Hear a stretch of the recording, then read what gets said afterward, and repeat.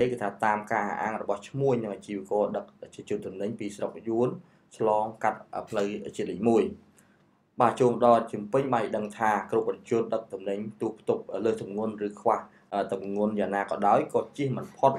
ពីចូលបង់លុយឲ្យក្រុមមន្ត្រីប្រចាំស្ថានីយ៍ជញ្ជីងថ្លឹងរថយន្តក្រោមការគ្រប់គ្រងរបស់លោកមុំវុទ្ធានោះទេបាទ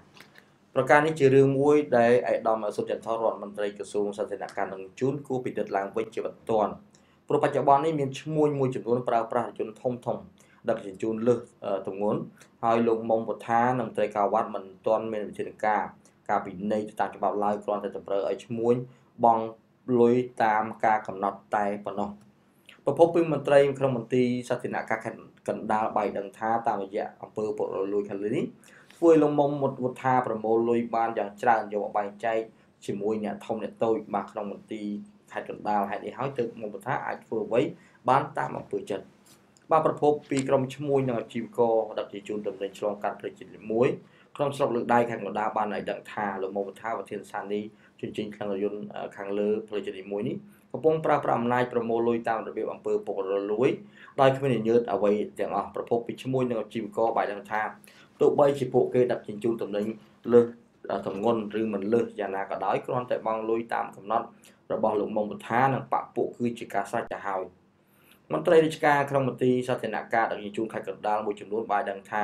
ការលើមុំបឋាប្រធានមន្ត្រីសំទោសប្រធានស្ថានីយ៍ឡើងរថយន្តផ្លូវជាតិ1ហ៊ានធ្វើអ្វីតាមអំពើចិត្តគឺមានការខុបខិតបើកដៃពីលោកម៉ឹងយូលេងប្រធានមន្ត្រីសាធារណការខេត្តកណ្ដាលផងដែរទើបអ្វីអ្វីប្រព្រឹត្តទៅដោយរលូន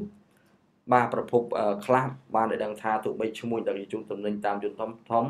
ទុកលើទម្ងន់យ៉ាងណាក៏មន្ត្រីប្រចាំស្ថានីយ៍ជញ្ជិញរថយន្តផ្លូវជាតិមួយស្រុករដែកមិនមានវិធានការពិន័យតាមច្បាប់នោះទេផ្ទុយទៅវិញក្រមមន្ត្រីប្រចាំជញ្ជិញឆ្លងនោះគឺចាំតែប្រមូលលុយពីម្ចាស់រថយន្តដឹកទំនិញធំធំដែលគ្មានចេញកែបាត់ត្រឹមត្រូវនោះដែរហើយករណីខ្លះពួកគេគ្រាន់តែកត់ស្លាកលេខរថយន្តដើម្បីប្រមូលលុយប្រចាំខែគឺជាការស្រេចចា៎បាទហើយមកចេះកញ្ញា បាទថានេះជាការអំពើពុករលួយ បាទថ្លឹងរថយន្តបាទបានជួយជោគជួយចៅទេយកជើងរីទឹកថែមទៀតបាទសំខាន់ការប្រមូលដាក់ជជិញគឺតាមទី1គឺដើម្បីការពារកុំឲ្យខូចផ្លូវបាទរយន្តណាដែលលើទម្ងន់គឺធ្វើការផាកពិន័យទៅតាមផ្លូវច្បាប់បាទហើយបើគាត់អត់មានការពិន័យការអីទៅយកលុយកត់តែផ្លាកលេខឡានបាទដូចស្ដីរីកាអញ្ចឹងគឺថាចប់ហើយបាទ ចប់ហើយផ្លូវជាតិលេខ1គឺថាអនាគតដែលជាជំនួយរបស់ជប៉ុនអីផងហ្នឹងគឺថាអាចខូចទៅត្រង់ក្នុងរយៈពេលយ៉ាងខ្លីខាងមុខបាទសំខាន់គឺអត់មានបានជួយក្នុងការការពារផ្លូវនឹងឲ្យបានល្អទេបាទទៅឃើញផ្លូវធ្វើធ្វើជាប់ទៅបាទធ្វើធ្វើជាប់រហូតដោយសារតែការដឹកទំនិញដឹកអីលើសលើសកំណត់ចាអញ្ចឹងធ្វើឲ្យខូចខាតផ្លូវហើយពេលខ្លះអាចបង្កគ្រោះថ្នាក់ដល់អ្នកដែលជិះចិត្តឬក៏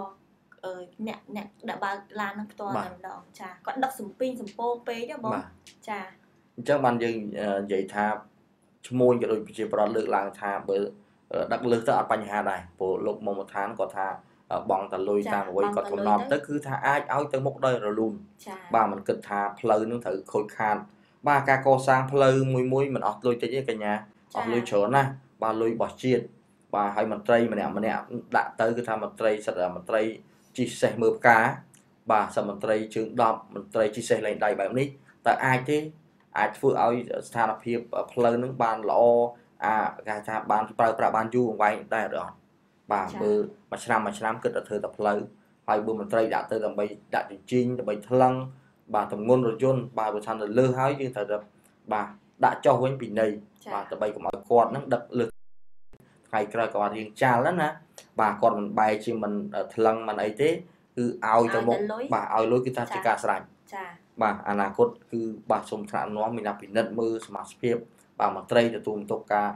ដាក់ជញ្ជីងថ្លឹងរថយន្តនេះបាទវាសំខាន់ណាស់បើសិនជាមន្ត្រីមានការធ្វើប្រហែសមន្ត្រីទាំងអស់នោះដោយអ្វីដែលសេចក្តីរីកាមែនគឺថាអត់មានសង្ឃឹមទៀតទេគឺថាផ្លូវយើងគឺថាអាចនឹងខូចខាតបន្តទៀតក្នុងពេលដ៏ខ្លីខាងមុខនេះបាទយើងមើលរូបភាពទៅរយន្តដឹកបាទសំពីងសំពង ដឹកលើទម្ងន់បាទពេលខ្លះគឺបាទខ្ញុំឆ្ងល់គាត់ដឹកអញ្ចឹងគាត់អ្នកដឹកនឹងគាត់អត់ពិបាកទេបងអត់ពិបាកទេដោយសារគាត់ចំណេញបើសិនតែដាក់តិចមិនចំណេញកញ្ញាដាក់ឲ្យច្រើនទៅបានចំណេញខ្លាចចំណេញហ្នឹងតែខ្លាចតែដាច់ចំណងបាទដាច់ចំណងចាគាត់ដូចជាលោបលូនពេកដឹកដឹកនោះដឹកពេកបាទដឹកពេកហើយបើមកដឹកពេកបានលុយណាបងលេងត្រីបងនេះខ្ញុំស្រាប់ឃើញរថយន្តគាត់ដឹកដឹកឡងសំពីងពោហើយឡានគាត់ឃ្លីងឃ្លងតាមឃ្លីងឃ្លងឃ្លីងឃ្លងហើយអ្នក អ្នកជីចិត្តហ្នឹងនាងខ្ញុំជីតាមក្រោយអីចឹងមានអារម្មណ៍ថាខ្លាចភ័យដែរណាចាខ្លាចតាអីវ៉ាន់ធ្លាក់មកអីចឹងទៅគឺគ្រោះថ្នាក់ឯងគ្រោះថ្នាក់បាទអញ្ចឹងទេអង្គការប្រមាណមុនឃើញករណីខ្លះឡានបើកលើមកដល់ស្ពានអ្នកលឿណាបាទដឹកលើសទម្ងន់ពេកឡើងដល់លើអត់រួចបាទមានល្អិលទៅវិញបាទអញ្ចឹងគឺជាមួយដែរបាទគួរមន្ត្រី ទទួលការងារទាំងអស់ហ្នឹងពិនិត្យសមាជិកឡើងវិញករណីនេះឃើញការដឹកទំនិញរបស់គាត់ហ្នឹងពេលខ្លះគាត់អត់បានចងរឹតអីឲ្យត្រឹមត្រូវទេគឺ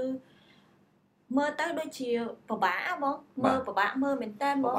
ចាអីវ៉ាន់អីនៅឃ្លៀងខ្លងឃ្លៀងខ្លងពេញមិនដឹងខ្លាចតាធ្លាក់មកគឺដឹងតែចប់ហើយដូចជាដឹកដៃដឹកអីអញ្ចឹងតាធ្លាក់មកគឺគ្រោះថ្នាក់ចាគ្រោះថ្នាក់មែនតើតែម្ដង ចាអញ្ចឹងអើយសូមឲ្យពួកគាត់នឹងមានការប្រុងប្រយ័ត្នហើយកុំឲ្យដឹកទំនិញនឹងហួសហួសកំណត់លើសទម្ងន់ចាលើសទម្ងន់